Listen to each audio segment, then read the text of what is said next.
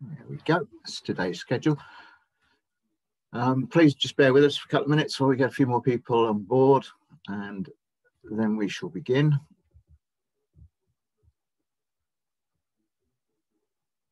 There's Anthony.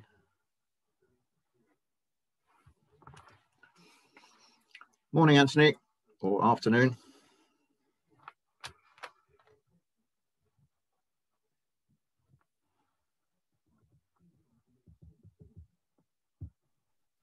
Hello, everyone. Good morning, or as I say, good afternoon, even. Good afternoon. It might have just turned 12. um, we're just waiting for a few more people to join and then we'll get underway. Um, do you want to, should we uh, switch it slightly, put Dan up first or how? Dan, would you like to go first with pleasure? Uh, yes, I'm happy I, to go I, first. I, I, think you're probably tired of listening to me, so uh, over to you then. And it's and and it's just one Dan and one Anthony today. Well, yeah, I think the other Dan's coming. Um, oh, okay, all right. Uh, but he's not here yet. That's going right. to get confusing again, isn't it? Oh, Dan yeah. one and Dan two. All right, Dan. How would you like? How long would you like to chat for? Just so I know timing on my side. Yeah, um, it's just a quick, quick one. Uh, probably 10, 15 minutes. So okay. yeah, not Perfect. too long. Right. Thanks. Yeah, it's best, best to separate the two Dans, otherwise we get get confused. yeah.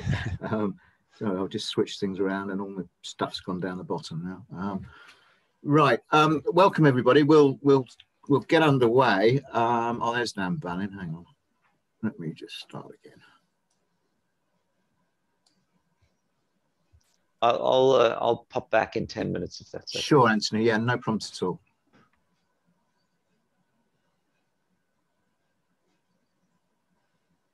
let that in. Okay. Right, good afternoon, everybody. Welcome to this uh, capital raising workshop. We have myself, Neal Davies from um, Exponential Events. We've been hosting uh, capital raising events in the City of London since 2017. Obviously, over the last 18 months plus, we've been virtual. Uh, we do three events a month. We do a uh, this capital raising workshop, we do a practice your pitch event before you want to actually pitch to uh, to our final events, which are actual uh, pitching events to angel investors, funds, um, people looking at investment opportunities in, in new and exciting companies. So without any further ado at the moment, I will introduce you to uh, Dan from Forresters, who are our IP partners, who will explain the importance of trademarks, um, patent protection and such like as far as uh, your ideas go going forward and how important those can be uh, for potential investors as well. So I'd like to introduce you to Dan. Dan, please share your screen and carry on and I'll let people in as we go along.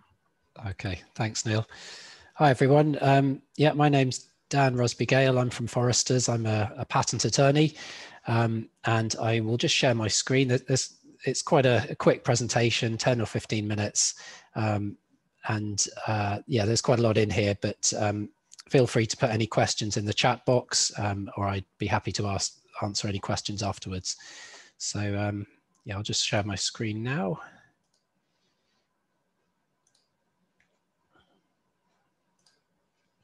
Oops. Um, right. Okay. Right. Okay, yeah. So welcome everybody. Um, uh, let's kick off. So I'm going to be talking to you today about uh, different forms of IP, and I'll be focusing on the three main ones, patents, trademarks, and designs. Um, there's a few other forms of IP here, which I won't talk about today, but uh, copyright, trade secrets, um, and various other IP rights relating to plants and databases and that kind of thing. Um, but I'll be just looking at patents, trademarks, and designs. So let's look at some case studies. Kicking off with trademarks. Um, so a trademark is uh, used to protect your brand and um, a registered trademark can protect your company name, product name, um, slogans, logos, graphics, colors, um, all that kind of thing. Um, all, all different manner of your, your brand and how you represent yourself in the marketplace. Um, if you're an, an early stage startup, you may be thinking, what am I going to call my company or my, my products?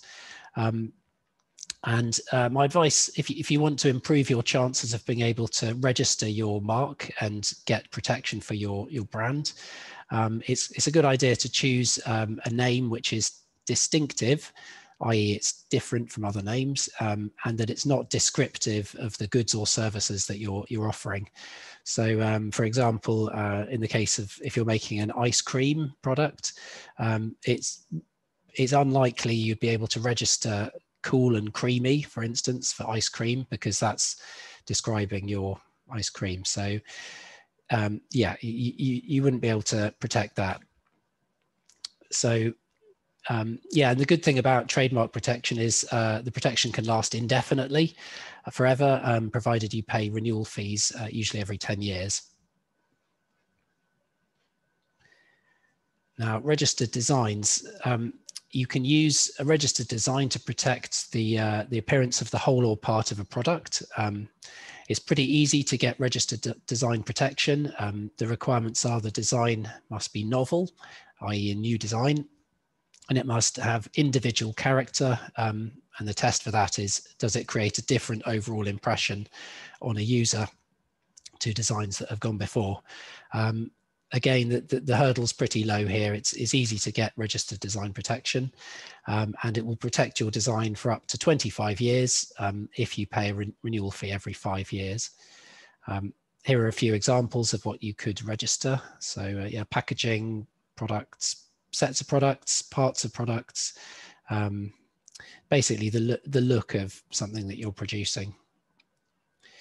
And you can also register your logo um, and computer icons, uh, graphical user interfaces, that kind of thing, uh, if you're running a website. Moving on to patents. Now, um, a patent protects uh, it protects a technical solution to a, a technical problem, and um, a patent is, really your deal with the government in return for you getting 20 years monopoly to stop others from using your invention. Um, you uh, you must disclose your invention to the public in your patent application. So so that's your your your deal, if you like, to get your protection. Um, and you can protect your invention for up to 20, 20 years um, if you pay a renewal fee every every year. Uh, and that yeah, the hurdle for getting a patent is is pretty high. Um, the invention must be novel in the sense that it's not uh, known already anywhere in the world. Um, and the invention must be inventive in the sense that it's not an obvious combination of what's gone before. Uh, and also the invention mustn't be excluded from patentability. Um, there's ver various exclusions such as medical treatments, mathematical methods, uh, business methods, uh, that kind of thing. So um, yeah, my job as a patent attorney would be to steer around these exclusions from patentability um, and get get the patent patent protection in place for for your technology. And the process runs like this. Uh, you file your initial priority application to get your flag in the sand. Um, this is your the filing date, and this is the date from which your protection will run. And um, I usually recommend filing in the UK first, um, since it's relatively cheap. There's low official fees. Um, and you get a search report back quickly from the, the UK Patent Office in uh, within three, three to four months. Um, and the search report will give you a good indication about whether you're going to get a patent and uh, what the scope of that patent uh, might look like. And then, um, so yeah, presumably if you're not just interested in the UK, um, most companies want want worldwide protection um, or protection in more likely in the, the key markets where they're operating. Um, and the procedure for doing that would be to fi file in the UK first, and then within 12 months, uh, you can file an international patent application. Um, this doesn't mature into a, an international patent. So there's, there's no such thing, unfortunately um, the international patent application keeps the door open for you to apply for patents later, um, uh, 18 months later in uh, in the countries where you want protection. So uh, Europe, US, Japan, um, Australia, whatever, um, you need a patent in each country where where you want protection. So that's a quick run through of the process. Um, and here's an example. So yeah, here's a, a old looking iPhone. Um, there's many, many different forms of IP here. Um, obviously, Apple and iPhone are registered trademarks. Um, there's all manner of patents on the technology in the in the in the iPhone, um, all the way from you know the physical casing down to the uh, you know the way that it functions, the the, uh, the radio communication aspect, all that kind of thing. Hundreds of patents in there. Um, Apple will hold some trade secrets back that they don't want to divulge to anyone else. Um, they don't have protection for those. Um, they just choose to keep that technology secret. Uh, the, the appearance of the phone will be registered as a, as a design, uh, as well as the graphical user interface um, provides protection for the appearance. Um, and the, the, the, software itself that, that's running on the phone will be protected automatically by copyright. Um, yeah, copyright subsists automatically in, in the code. You don't need to do anything to register that. Um, although I would mention copyright protection is, is pretty narrow and can be easily avoided by um, somebody just rewriting the code. Um, so moving on now. Now, what do your investors want to see? First of all, uh, are you likely to get sued by someone else who, who already has IP protection in place? Um, and to investigate this, you can do a, a freedom to operate assessment um, and look at your, um, you can identify your competitors and look at their IP portfolios, work out whether you're going to, well, work out the risk of you infringing somebody else's uh, IP protection. Um, secondly, have you protected what you're doing and how have you protected it? Do you have an, an IP strategy in place, um, which involves identifying the IP in your business, um, putting together the initial IP filings, patents, trademarks, registered designs, um, get your search reports for the patents uh, and trademarks, um, and then put together a pipeline uh, to work out how you're going to protect your, your IP going forward as your business grows.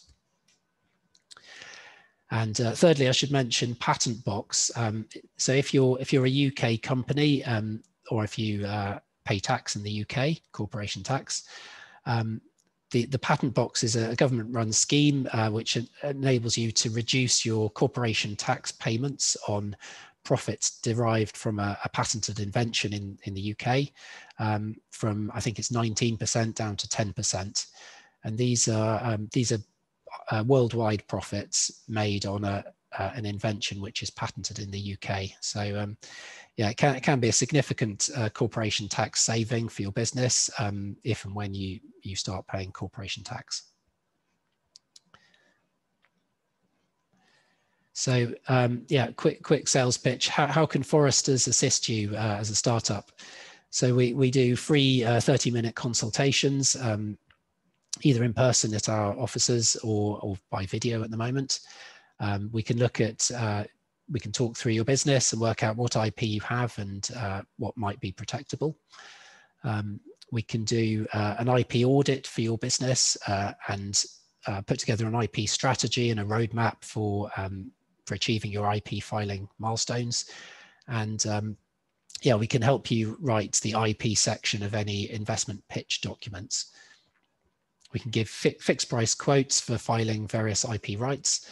And um, we could also look at your competitors and do a, a, a patent landscape and work out whether you've got um, freedom to operate, whether you can uh, carry on without infringing someone else's rights. And uh, yeah, we've got a pretty wide team from uh, life sciences. I, am in the technology and engineering side um, to do with electronics and software. Um, we've got a trademark team as well to, uh, for brand protection. And yeah, I'll just finish with this. Um, this is a sort of success story. Um, we, we had a chap come into our offices. He'd invented this tool in his uh, in his garden shed. Um, quite literally, uh, it, it's a tool for marking um, a cross on on a wall if you're putting up a cabinet. Um, this is a there's a great demand for this in the building trade apparently.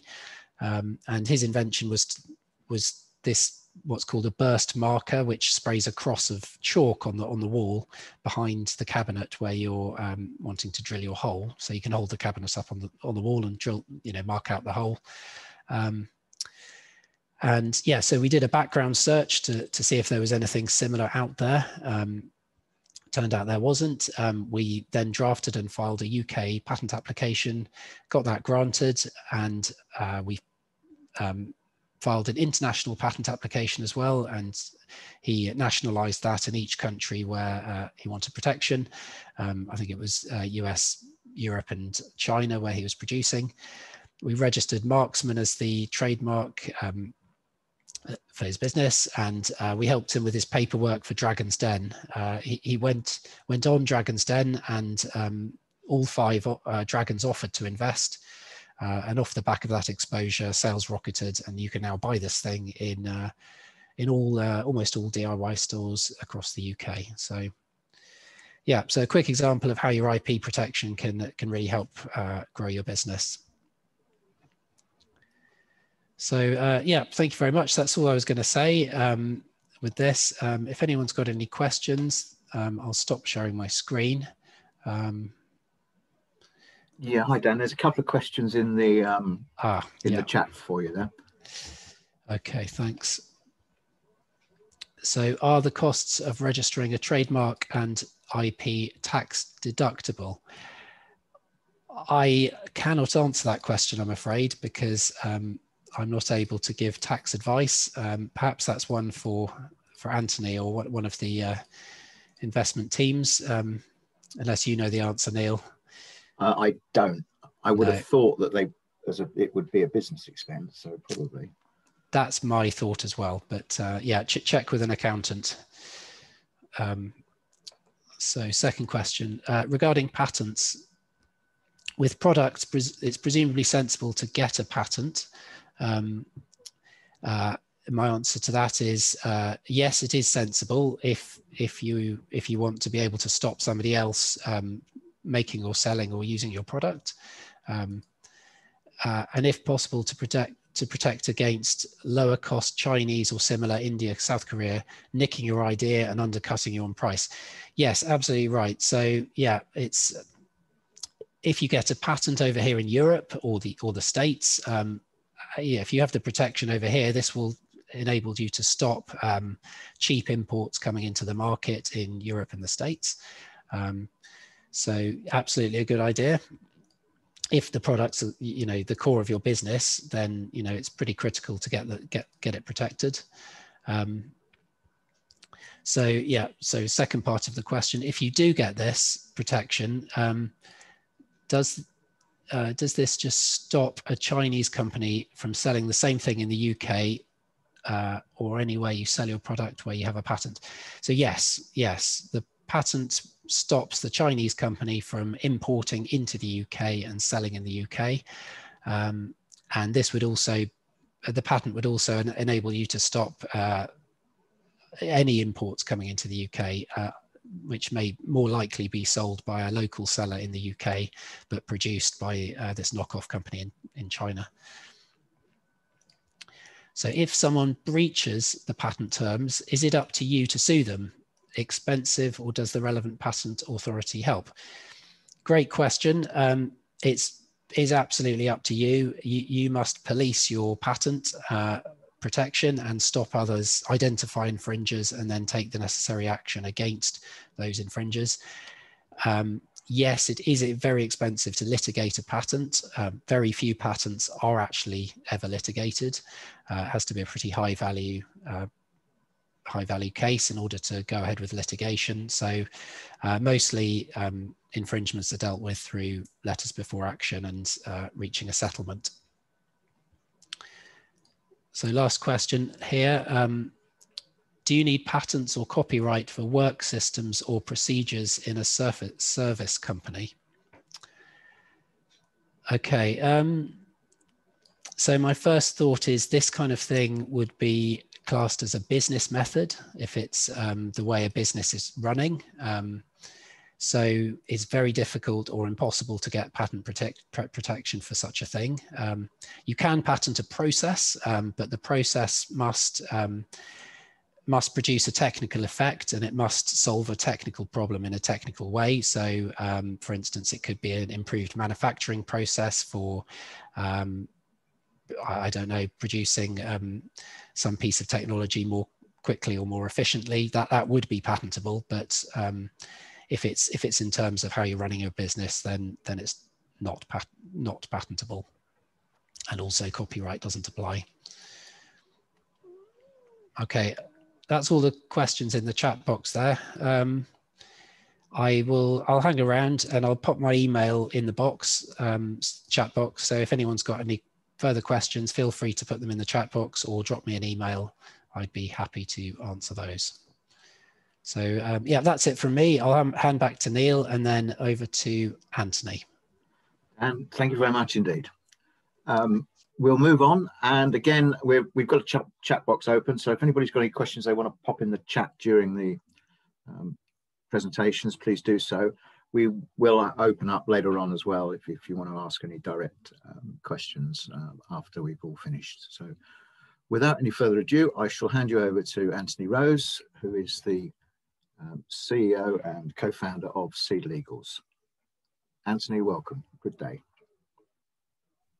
Hello, everyone. I've got the mic working. Excellent. We're good. So what I'd like to do is I'd like to talk about uh, the most important things for your uh, funding round, getting investment ready and for the round. So can I ask if uh, anyone wants to turn on video, uh, just uh, uh, tell me uh, for maybe a couple of people where you are so far in your first round or later so that I can talk to the very uh, exact things that you're looking for. So if anyone would like to turn on video and uh, say hello uh, and, and help me pitch uh, correctly.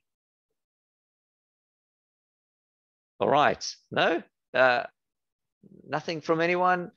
Sean. Sean. Hello, Sean. You're on mute, Sean. Aha. That's better. Technology. Great. Um, so where I am is really early stage, super early stage, uh, pre-MVP. Um, and that's what I'm pitching it to get investment. Okay, and uh, how much are you looking to raise? Have you thought about that, or you that you looking to to figure that out uh, now? Looking at 200k. All right. Okay, and where's the accent from? Cape Town. Okay, me too. All right, there we go. You see, kindred spirits already. Excellent. All right, so so you can uh, mute again, uh, Sean, and I think then I've got some uh, good prep to go with. Okay, so what I'm going to do is I'm going to go through, and I've called the, the 10 things to get investment ready, value your company, and uh, and and get investment. So with that in mind, let me start by sharing uh, my screen.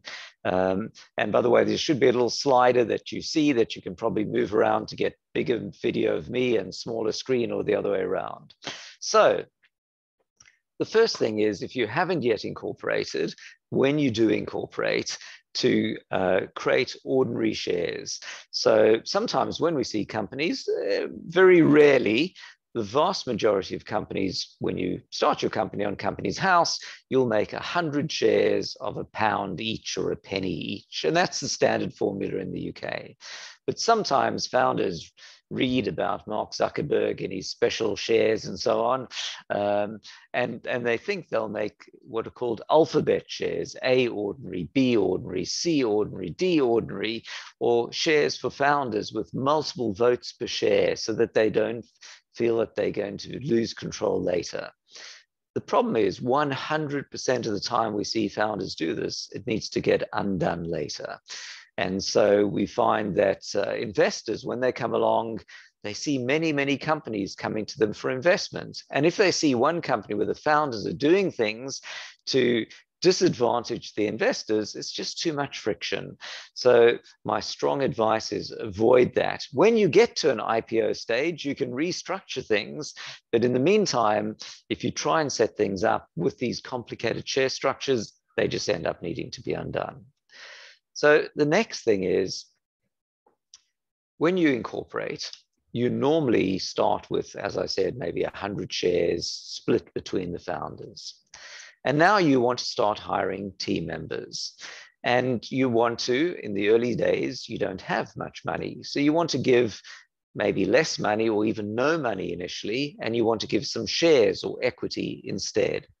And so here's a nice rule of thumb, which is if the shares have no value, you can give people shares.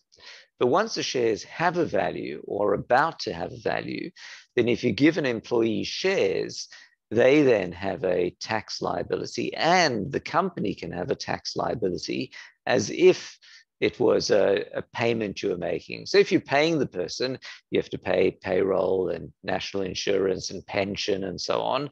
And if the shares have a value, you may find HMRC deem it as if it's a salary and it becomes an expensive mistake. So the rule of thumb is early joining co-founders uh, well before a first funding round, you can give shares. But afterwards, you'd create an option pool and you give people share options instead.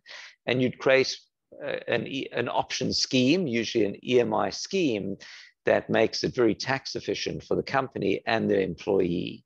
So, talking of options, when you now want to give options to people, three things are needed. Number one, let's say that you've uh, closed your first funding round or you've raised your first round and you now want to start incentivizing your team with share options. So the question is how many options to give them and what size pool do you need to do? But basically, three things are needed to give options to team members. Number one, when you employ them as an employee or an advisor or a consultant, you can have an agreement that promises them some number of options. And in the same way, you don't pay people their entire annual salary on day one, you pay them over months based on their doing work. Likewise, when giving someone share options, you always want to give it according to a vesting schedule. So they're going to vest over one year or three years.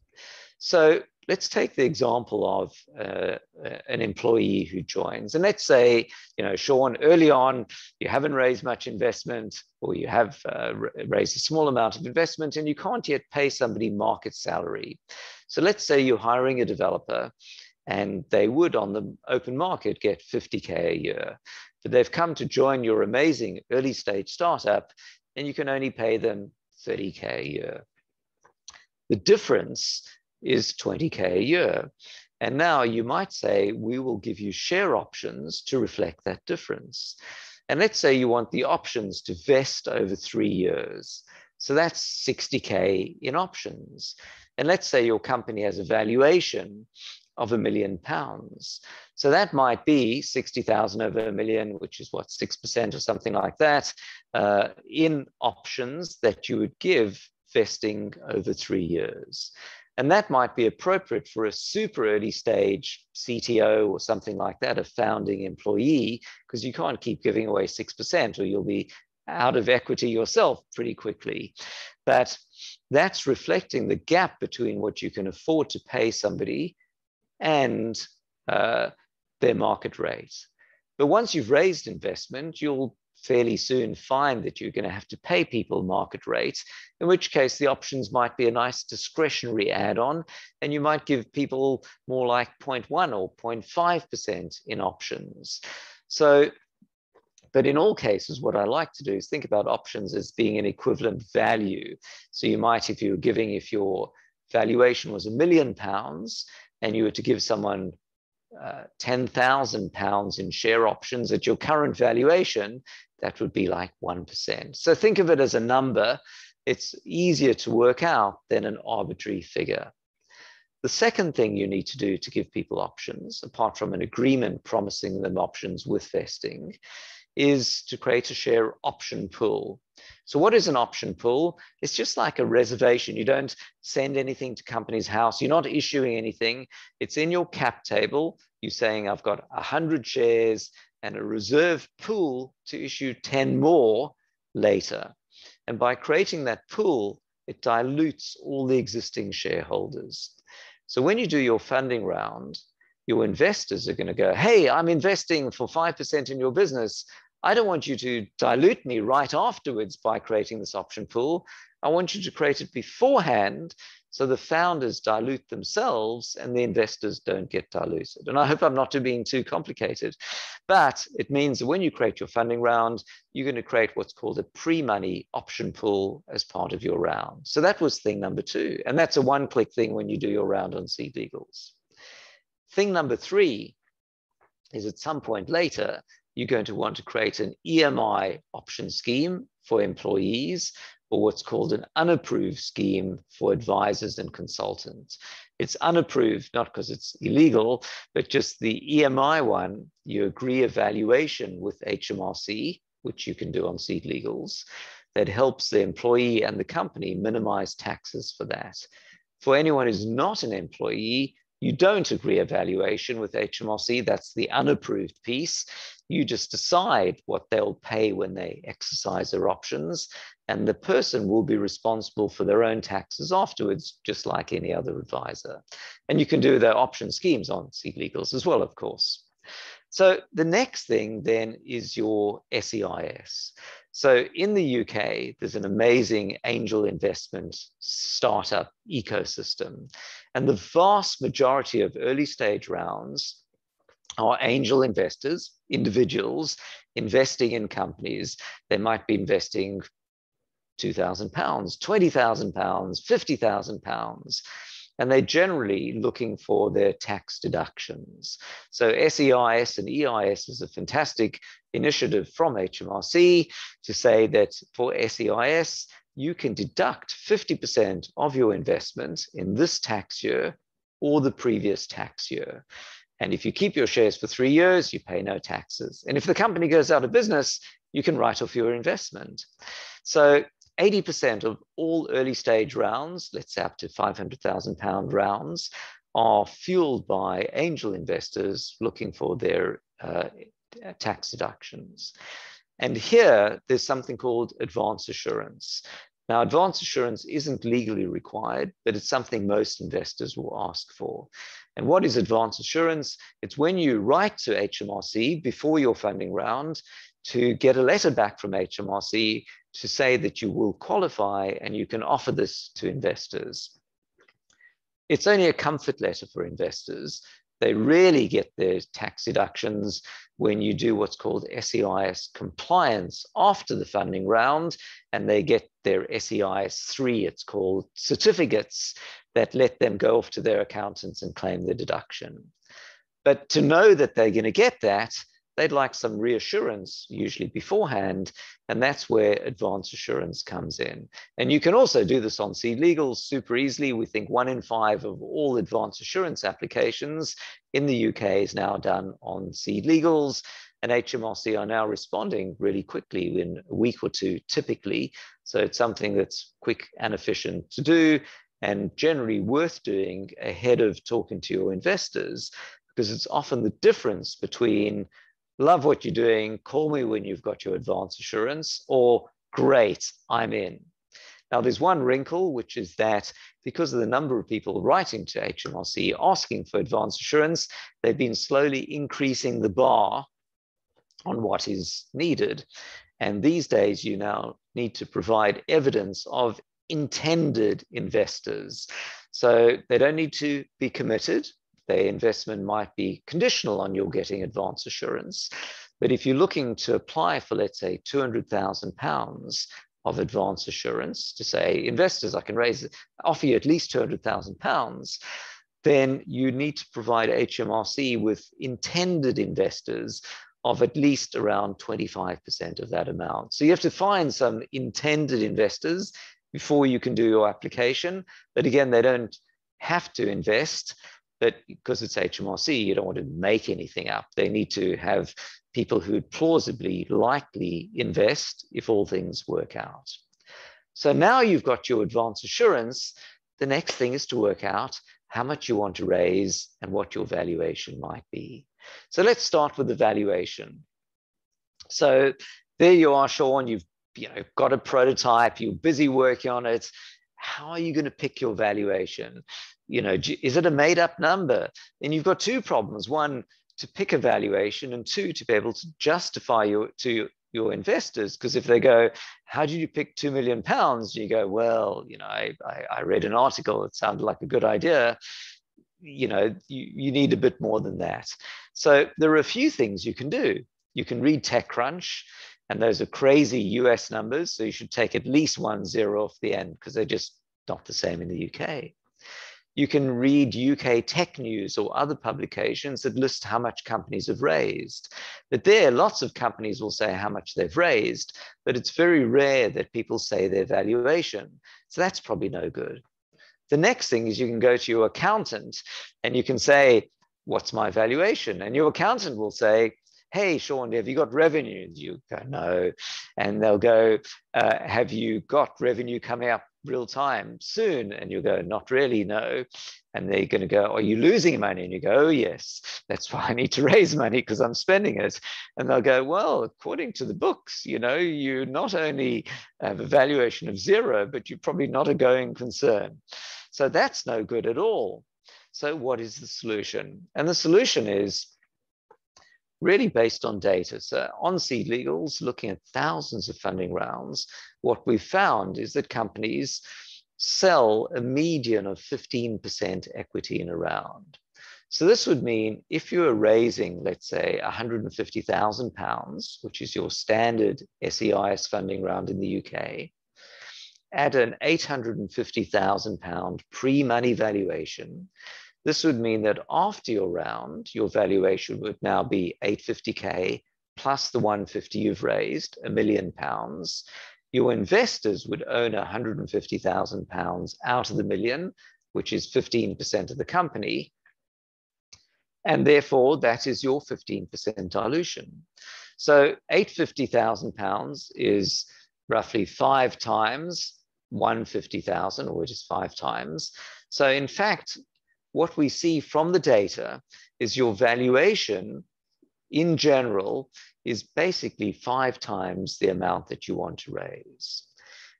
And valuations in the UK fall into a few bands. So somewhat facetiously, it goes like this.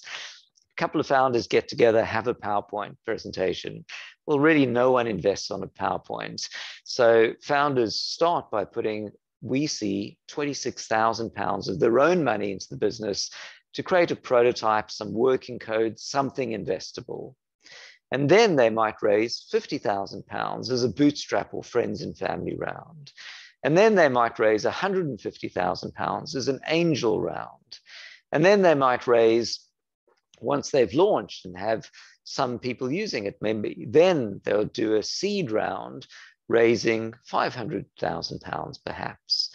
And then once they've got revenue and maybe 50,000 pounds month revenue or even 20,000 pounds a month recurring revenue, you might now do a series A round raising a couple of million pounds. And your goal as you grow your company is to raise money maybe three times, such that each time you're going to sell 15% of the business and create a 10% option pool at the beginning, so that after three funding rounds, the founders are now either don't need to raise more because the business is profitable, or you're ready to sell your business and everyone makes a great return. And if you do three funding rounds, each time diluting 15% with a 10% option pool, after those three rounds, the founders still have more than 50% equity. So the numbers work out well. And each round, your goal is to raise three to five times the amount of the last round at three to five times the valuation. And if you keep that as a sort of mental mind map, that's a great way to chart the goals for your business. So everything I've shown is about how to value the company. And by the way, on this, because there's quite a lot of information there, head over to SeedLegals' resources deal data, where there's a very nice article on all the things I've just mentioned and more on valuing the company and how much equity dilution to set in a round. And that's really your valuation versus the amount you want to raise. But wait, there's more. So once upon a time, people had to do funding rounds uh, and they were very complicated. You spend months finding investors, and then you spend months on the legals, and it was super expensive. And then, of course, you want to do it all over again, but you can't raise more right after. You have to have traction and growth, and that takes at least six months. And you can't risk trading insolvent, so you need at least three months cash in the bank. And that turned into this sort of 12 to 18 month, you know, go big or go home cycle. And it's immensely stressful. But what if there was another way? And so now with SeedLegals, we are really talking about agile fundraising. And what this means is, let's say that you had in mind that you wanted to raise 200,000 pounds. So there are broadly three options. Number one, magically, you've got 200K of investors lined up. Amazing. Do a funding round, which you, of course, can do on SeedLegals. Scenario number two is you've got 100,000 pounds lined up. And once upon a time, you had to decide, do I close a 100K round or do I wait longer and try to raise all 200K? But these days, you can do a rolling close round. So you can say, I'm just going to close my 100K and then I'm going to top up another 100K when I find those investors. And that's a rolling close round, which is now one click option on SeedLegals. But the other scenario is somebody comes along and goes, Hey, Sean, I love what you're doing. I'd like to invest 20K. 20K is too small to be a funding round. So, what to do? You don't want to say, come back in December or September, because actually you really need the money now. You didn't need 200K now. You actually needed 20K to pay your developer or your UX or whatever it might be. So, what you want to do is you'd like to find a way to say, I'll take the 20K now and I will give you shares later at a valuation to be determined later when I do my round. And the answer to that is called a SeedFAST. So SeedFASTs are insanely popular. It's an SEIS, EIS compatible way of an investor giving you money now that will convert into shares later when you do a funding round later. So you can hop on SeedLegals. I'll stop sharing now and we call that agile fundraising. And it has really changed the way companies in the UK raise investment. The, you know, there's probably more investment raised out of a round than in a round now.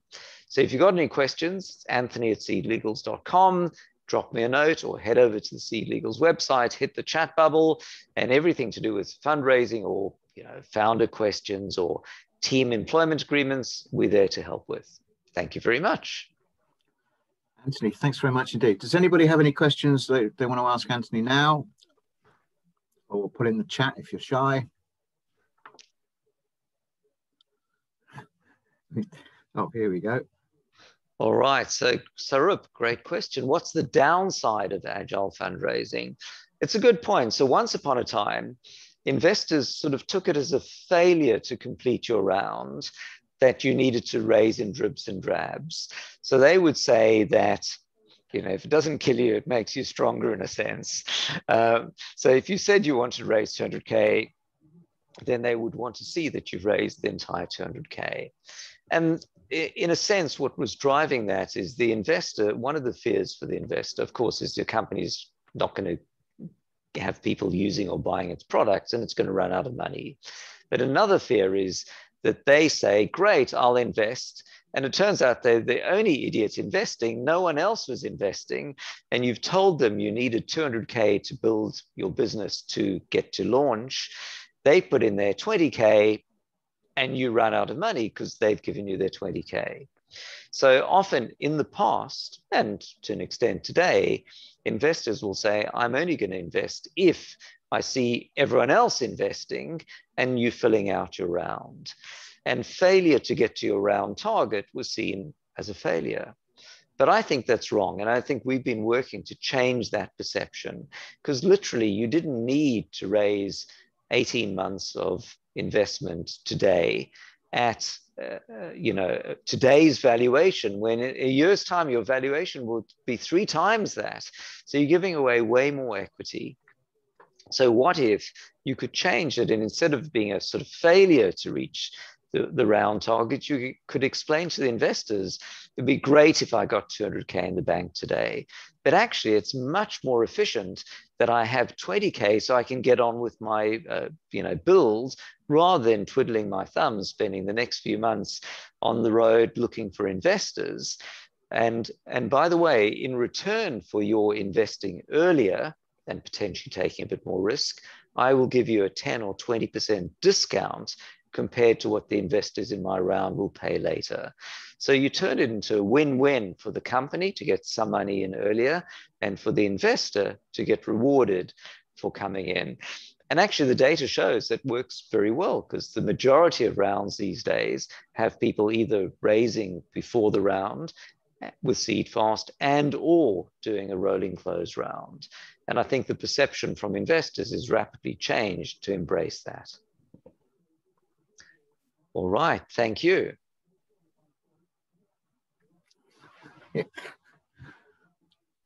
Okay.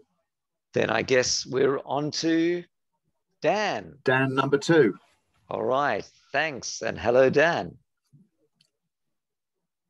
Hi, Anthony. I didn't know you were South African. There, live and learn. Um, okay, so let's have a quick uh, chat about. So, do we want to get people to turn their cameras on? To have yeah, we can. Uh, if if if they'd like to, yeah, please. I mean, we're here to help everybody, so please, you know, make the most of this. So, so it might be quite good to talk a little bit about where all this money is coming from, because I think it helps if you know where the money is coming from. It kind of helps you with your negotiation at the end of the day. So um, do any of the uh, startups out there have an idea where, you know, understand the flow of money, where it's coming from? Okay, so um, so typically your uh, your money is going to come from so typically you guys will be looking from angel investors. Okay, your angel investors are, um, but before that, I would consider you look at your your your family family and friends or even better, your profitable customers. Um, to answer um, Sarup's question in terms of, uh, to give him another answer, there possibly is one downside. If you start taking equity, because equity is not for everyone. Um, if you start taking equity, you're going to be diluting your proposition. So you'll be, uh, you know, might have a very successful slice of a pie, but you might not necessarily have all the pie. Not necessarily a bad thing. So um, but something to bear in mind that you're going to be diluting your, the ownership of your business. It's also worth noting that getting equity is a lot of hard work as well. If you've got profitable customers who you can then self, who you can fund your business, that might be the better option, but it's it's very hard and it's not very easy, particularly in the tech world. And getting equity is typically seen as one of the main ways to do it. Uh, another way might be to consider debt, to take on a debt, to go to the bank. There's quite a lot of money at the moment, though, in the equity scene. You've got uh, the British uh, Business Bank, for instance, which has pumped about two billion pounds worth of extra capital into the system. So there's like 1,200 new business uh, businesses which have taken drawn down from that funding. So there's a really lot of funding.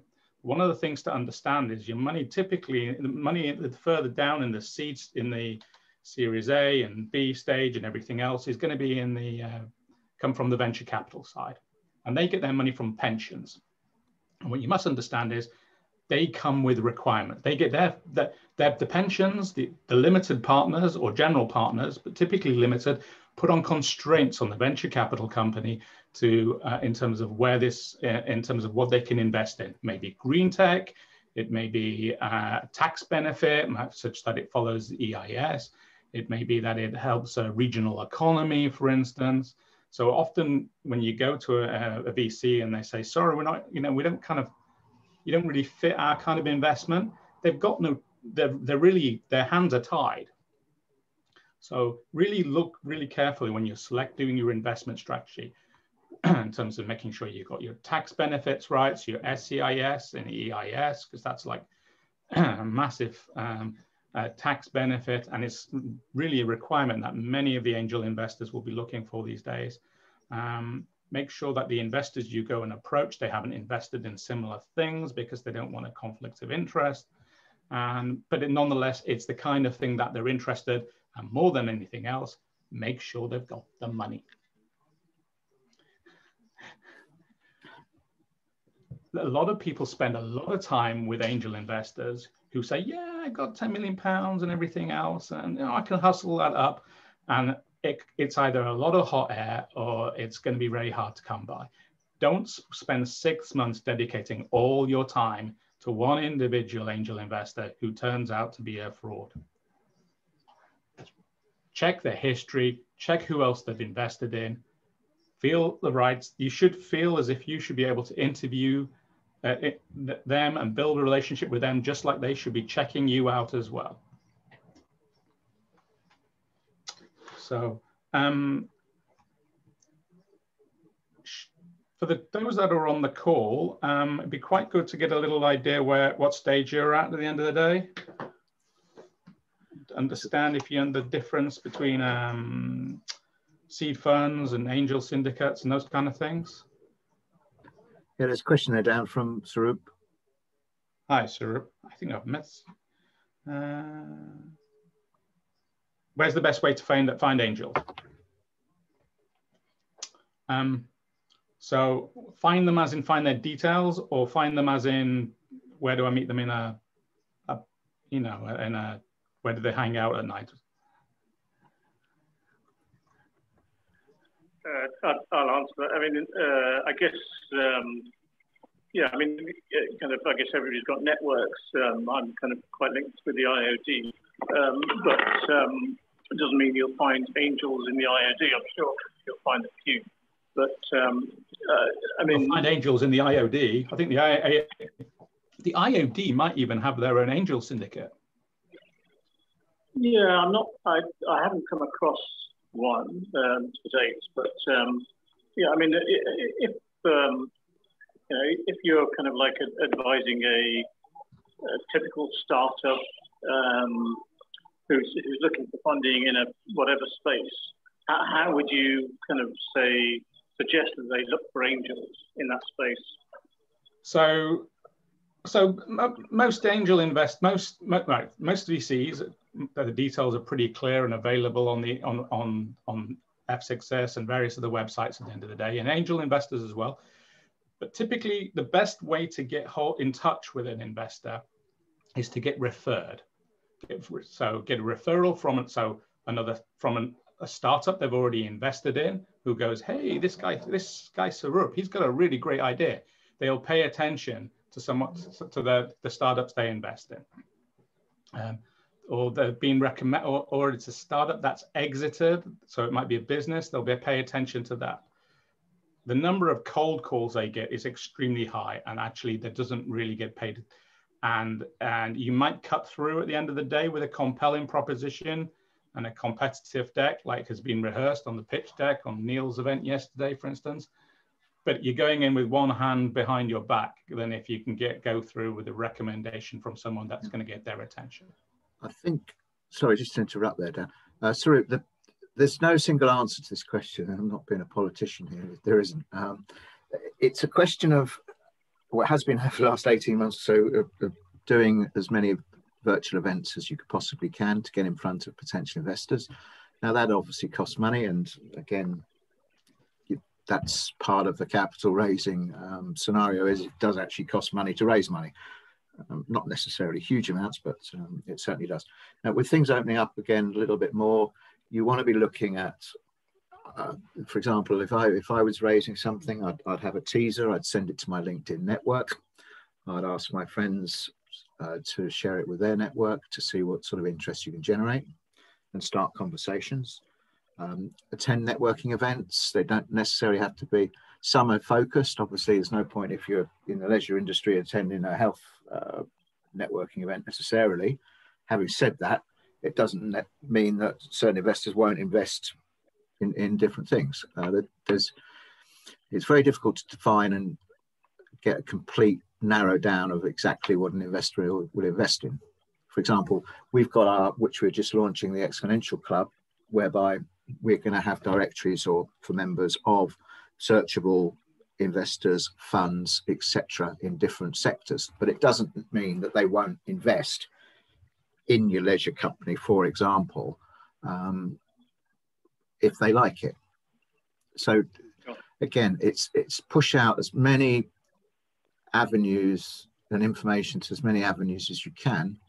And I think Dan made a very uh, valid point there. Once you've got one investor who's interested in, or is even investing, human nature dictates that they're going to talk to their friends, and their friends are going to be of similar ilk to them as well, because they want to see the thing work and they want you to raise the money uh, to get on with what you're doing.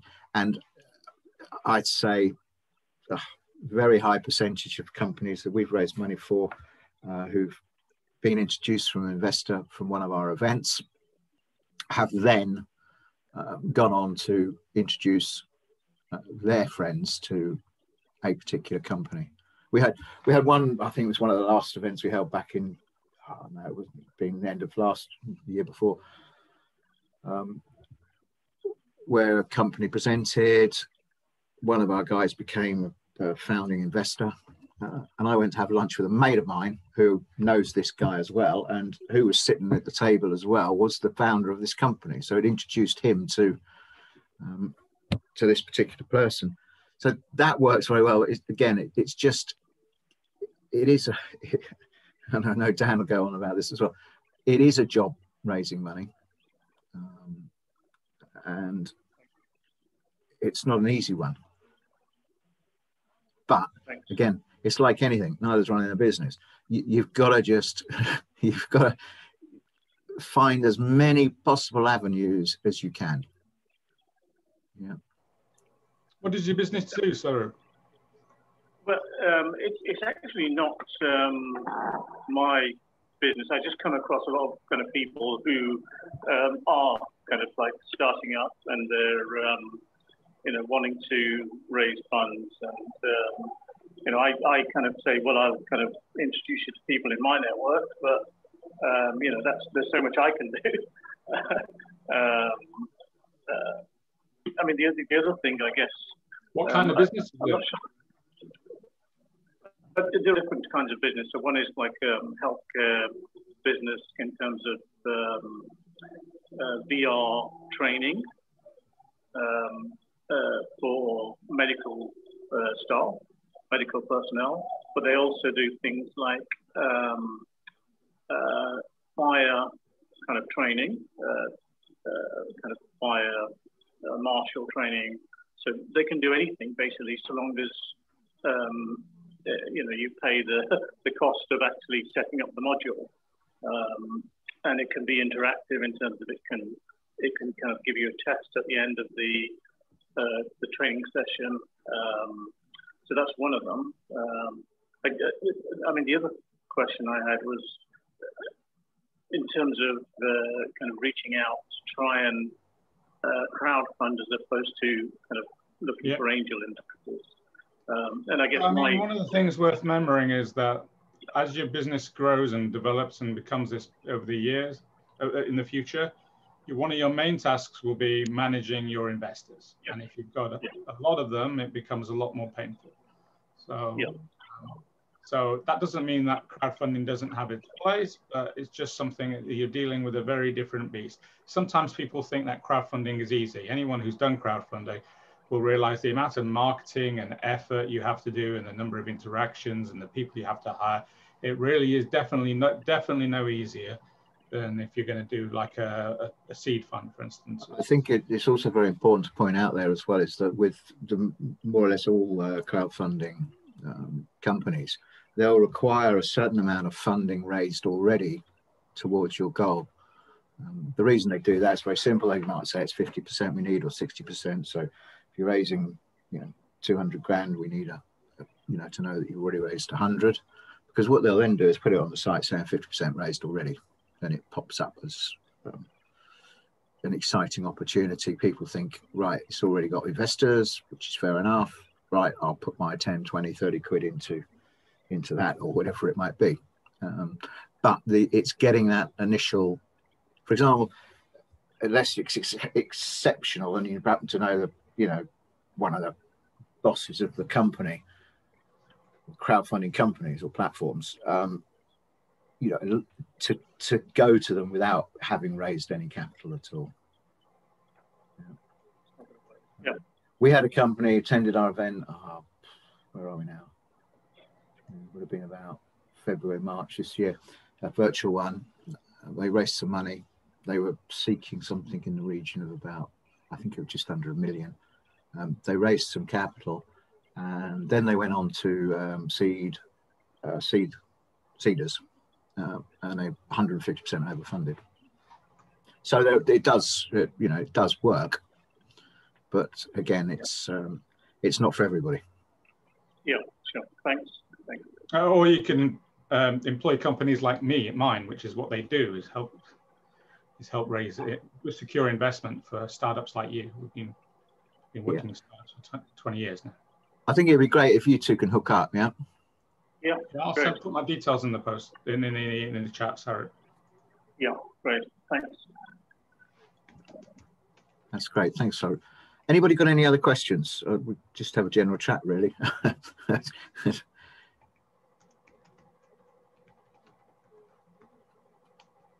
Sean. Ah, yes. Um, so just on the comment about uh, kind of crowdfunding. Um, I mean, I'm looking at literally uh, seed funding in early stage or angel funding super early stage just to get an MVP. So, what you're saying is, I need to get funding to get onto that platform to get more funding? Uh, on the on uh, on the crowdfunding route, yes. Yeah. Right. So basically, for me, it's not really worth going that route then. No, I wouldn't waste time at the moment. Okay. And because the first question they'll ask you is what you're raising and how much you've raised so far, and if you say I'm raising 100, it doesn't matter what it is. You haven't raised anything so far. They'll say come back when you have. All right. Okay. Yeah. It's not, you know, it's not a solution uh, from scratch, if that makes sense. Oh yeah, I see. Okay. So would you say which is the best route for me then?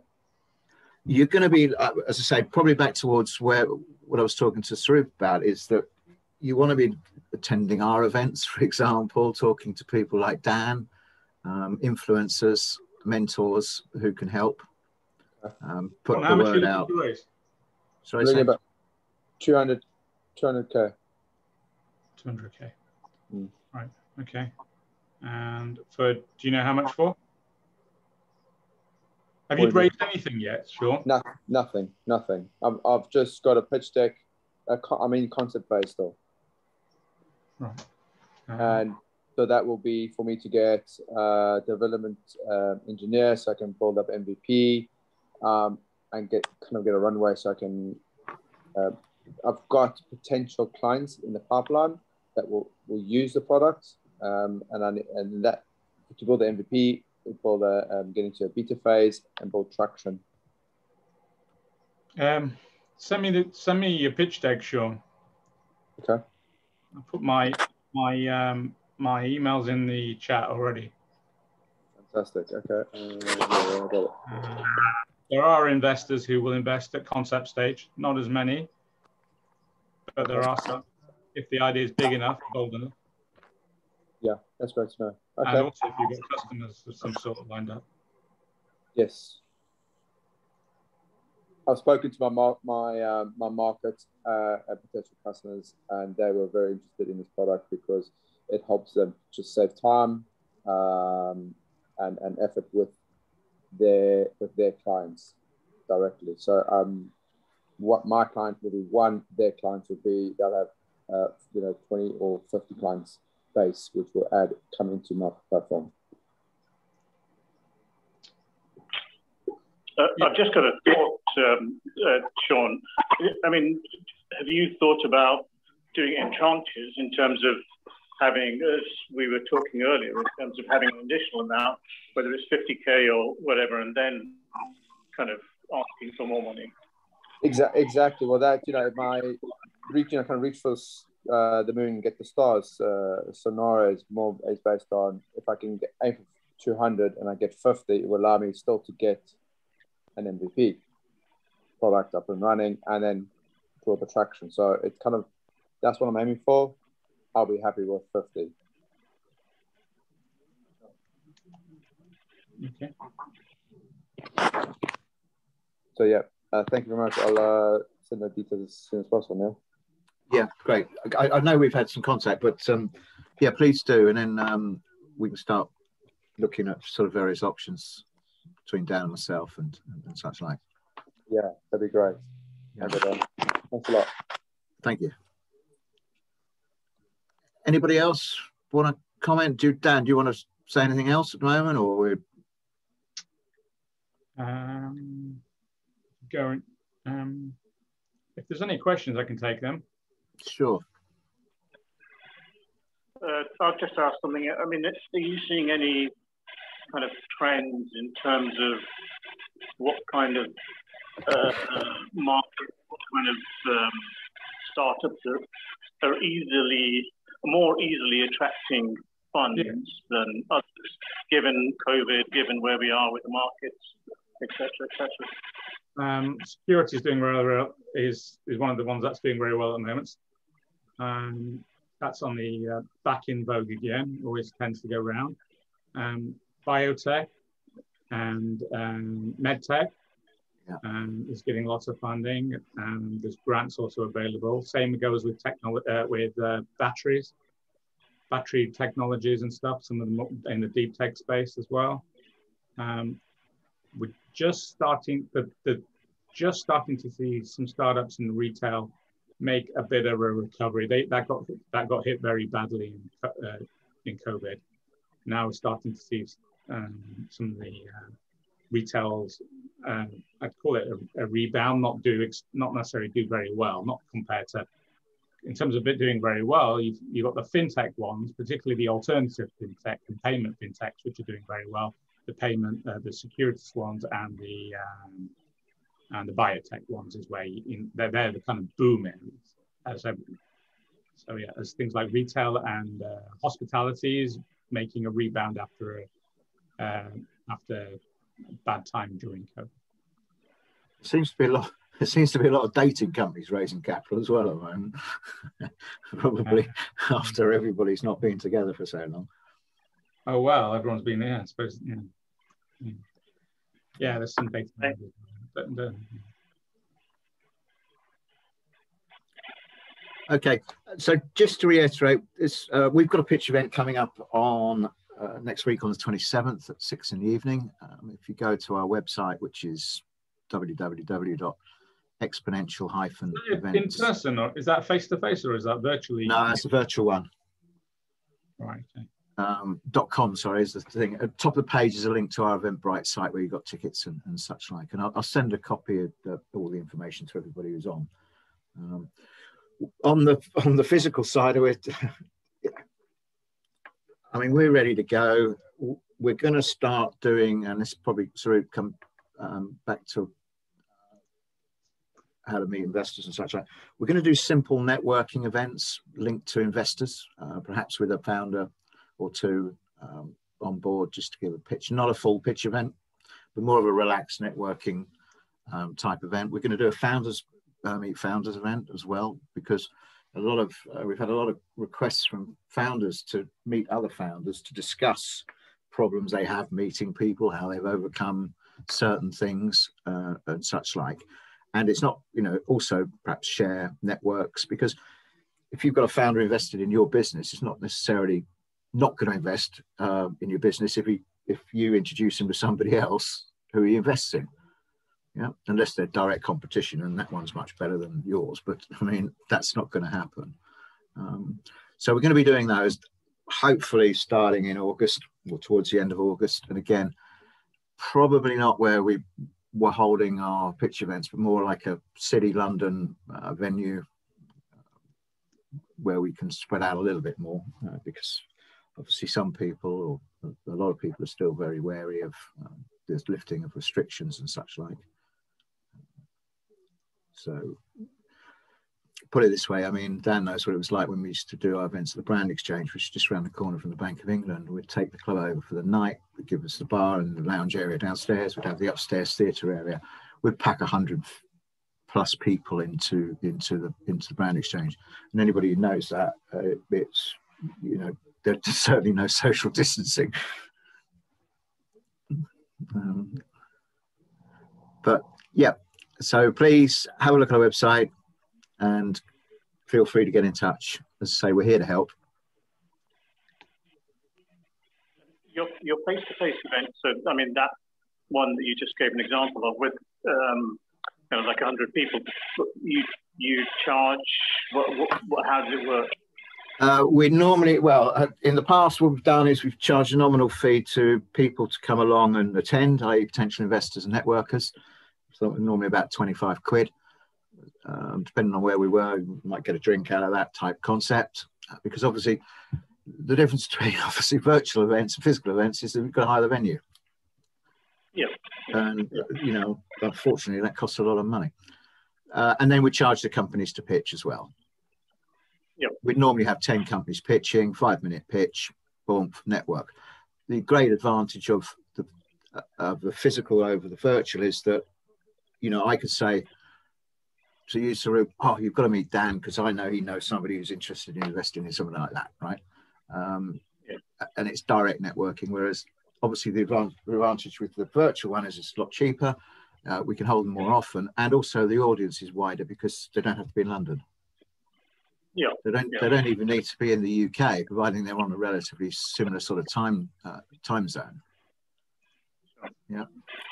So we're going forward. Just to let you know, we're gonna we're gonna run a hybrid. We're gonna run virtual. We're gonna run physical.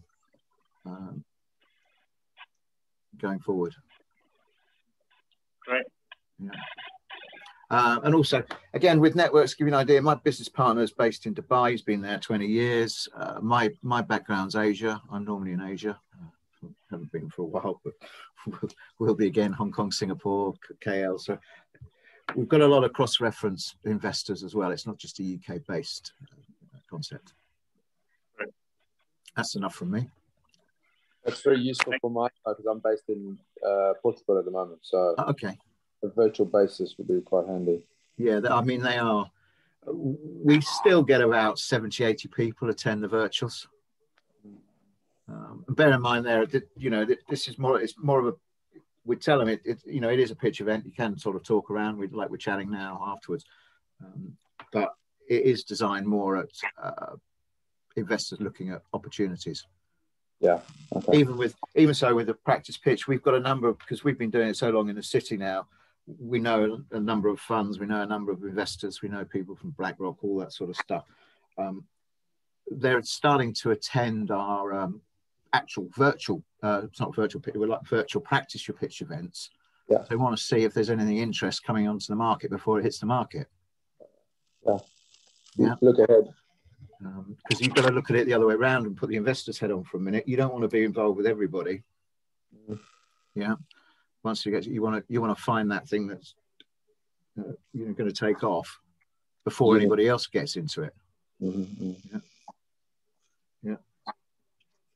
Um, you know, it's like buy when everybody's selling. Yeah. Sure. Sure. Right, Dan. Thanks very much. Uh, I know Dan's gone and Nancy's gone, but uh, this is being recorded. I'll send you an email link to our uh, YouTube channel. If you subscribe to that, then there's other ones on there as well, so you can have a look through. Um, hopefully, pick up some information. Plus, there's some uh, there's some videos of our actual old physical events on there as well. I'll give you an idea of what it what it used to be and what we're going to be doing again soon. Okay. If you want to reach out, Sarah, Sean, you know what my details. Just do. Otherwise, uh, look forward to hearing you in the next one. Dan, thanks very much. And everybody, oh no, nice to see you. I'll see you next week. Yeah. Yes. See you next week. Okay. Right. Have a good day, everybody. Thanks for coming.